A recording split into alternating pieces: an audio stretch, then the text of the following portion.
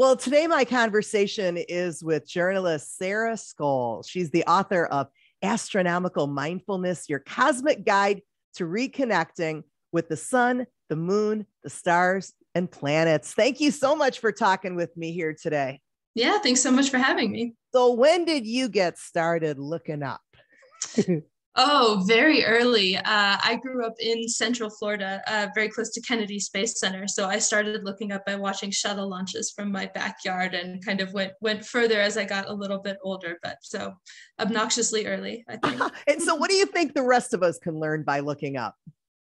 Uh, I think that everybody can kind of gain what I like to call a cosmic perspective of just remembering day to day that uh, you're on Earth and Earth is a planet going around a sun in a solar system, in a galaxy, in a universe, and that that's just kind of a, a good kind of step back perspective to have day to day. I think, but you know, probably most people don't even think about that, right? We're just we're here, we're magically uh, cemented to the ground, or so it seems. Right. Yeah. I mean, there's really nothing unless you spend a bunch of time looking up that indicates that Earth is a planet We're just, you know, everybody's just living their lives. So it does take kind of a, a, a mental step to think about the universe at all. Now, I'm guessing you know more about planets. Probably, well, you definitely know more about planets than anybody I know. So um, if you could go and live on any planet, I don't mean like like physics, like, you know, well, you can't live there because it's too cold. If you could go and live on any planet, what planet would it be and why? Ooh, I think that I would go live on the planet near the closest star to us, Proxima Centauri, just because, you know, nobody's ever been there. We don't know what it's like, and I'm up for an adventure. So I'll go figure it out and report back. Yeah, I love that. You know, the thing about your book, I love it because you, you kind of blend scientific uh, knowledge and information with mindfulness. You know, it's right, it's right there in the title, astronomical mindfulness. So tell me what that means to you and what that looks like. Yeah, well, I think of regular mindfulness as kind of an attention and awareness to where you are in this present moment and what's going on in your brain and your environment. And most of the time, when we're thinking of the, the environment, it's, you know, what's in this room, what's right around me. But for astronomical mindfulness, that includes what's going on uh, beyond Earth's atmosphere. You know, the universe is expanding, we're going around the center of the galaxy. So just kind of taking those things into account that the present moment also includes all of that stuff and and you probably saw the movie ET, right? Oh, for sure. Uh, okay, many times. So, yeah. So do you think that there are beings like us on other planets? Other maybe uh, can is there life on stars? Uh, probably no life on stars, although I don't know. I could be wrong about that, but probably, um, or at least it would make sense if there was life on planets around other stars. And, and, you know, scientists are looking for that for evidence of maybe microbes on other planets or even like broadcasts from intelligent aliens. So, um, you know, fingers crossed, I'd like for them to be out there. You know, you talk about that with the broadcasts from other aliens, right? Um, sure. Seriously, like when I got in this, this business on the radio, I remember uh, my brother saying, um, you know, you just don't know. Like those FM airwaves go right into the sky. Maybe someone on another planet is listening to you on the radio. That can happen, right? You're you're very famous around Proxima Centauri, actually. mm-hmm. It's funny, and I think the AM waves stick to the circumference of, of the Earth, if I'm not mistaken. Okay. okay. You, you, know, you, you wrote this book. They are already here. UFO culture, culture, and why we see saucers. Um, I, I read a little bit about it and I would love if you could share a little bit about that book. Sure. Um, well, it is a book about the role that UFOs have kind of played in American culture and why they loom so large, and people are so many people are so obsessed with them and with the idea of them that they're just kind of this persistent mystery that's out there. And so the book is about what that means to a lot of people, whether it's kind of like a spiritual dimension of, of uh, you know, godlike aliens or a secret military project or conspiracy or things like that. So just looking at the, the different ways that UFOs are part of our culture, because I knew I wasn't going to figure out, you know, if they were real or what they were. So I had to study the people. But you probably get excited like the rest of us, right? When you see sightings, do you do you look at them and, and say, uh, I don't know, or or look at it and it's kind of becomes intriguing?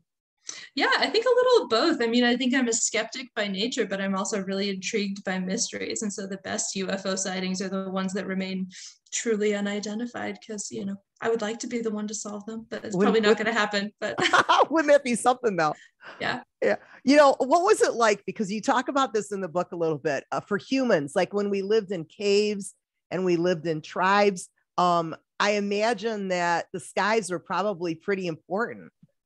Right. The stars and uh, the movement of the planets and the sun and the moon were the only ways that really people had to keep time, uh, you know, day to day, and then also season to season to know when to plant uh, or how to navigate or you know basically what was going on clocks are, clocks are new before clocks yeah. there were stars and planets and so um, it was that and then also the stars were kind of a repository for people's stories you know that's how we got constellations um, and uh, and they have a spiritual dimension and so the, the stars in the sky were just kind of everything for for a lot of cultures yeah, I remember interviewing uh, for a different show that I do, uh, an American Indian, and he was a storyteller in his tribe. And he, we, you know, we sat in there as he was telling stories, and the sky was lit up, you know, with all the different constellations that he was referring to. So when did they? They're still very connected. When did we kind of lose our our our connection to the cosmos?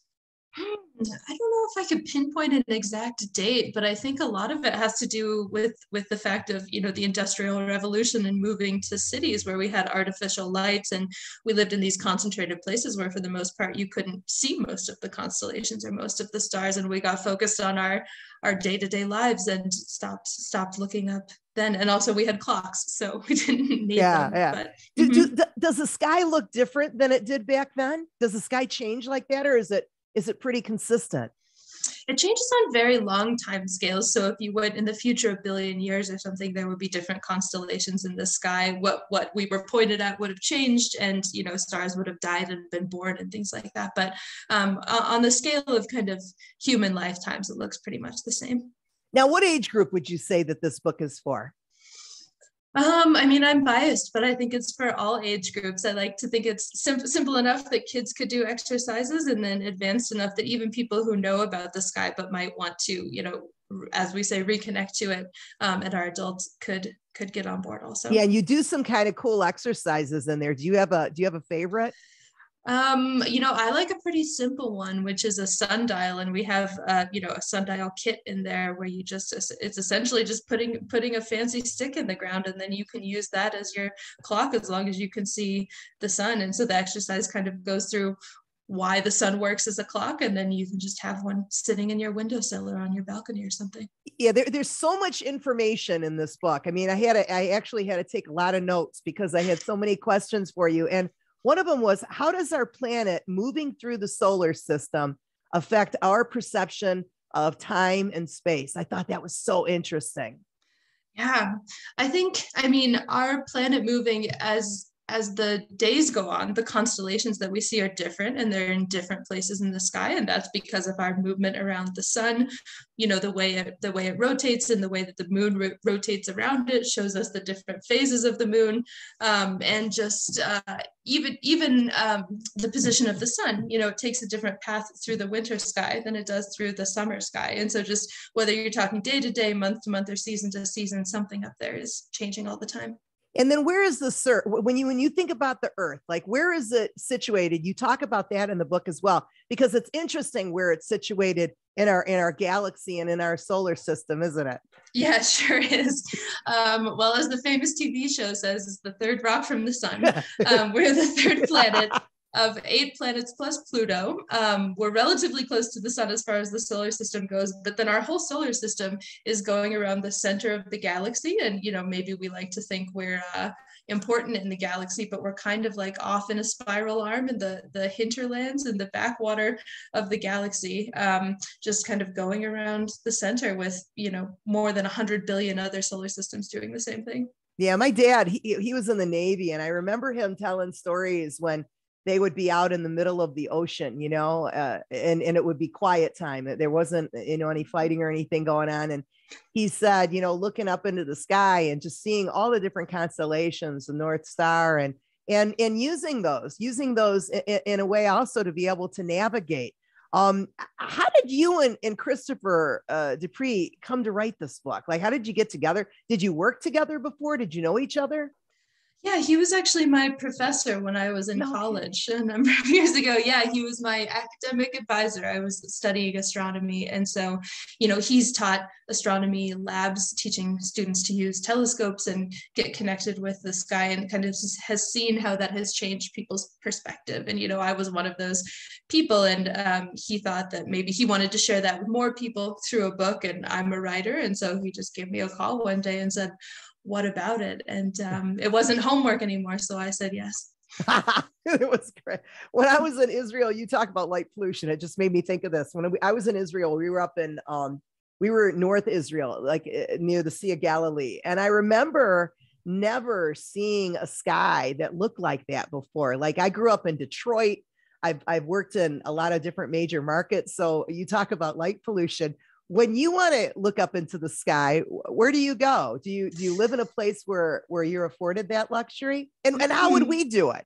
How would somebody want to you know be able to do it that's listening now that lives in grand rapids yeah, that's a good question. Well, I live in the middle of Denver, so I also live in a light polluted place. But um, I can, I drive up to the mountains that are just you know an hour or so west of town and get out of the light pollution. But um, if you if you search on the internet for just dark sky map, maps will come up that you you can search for your location and find the uh, the place that's closest to Grand Rapids that that has less light pollution. And usually, you know, it's less than an hour drive from a major city to just get out a little bit and see some more some more stars. Oh, that is so good to know. Sarah, you know, I remember reading something and then later, many, many years later, I saw I saw a show on it.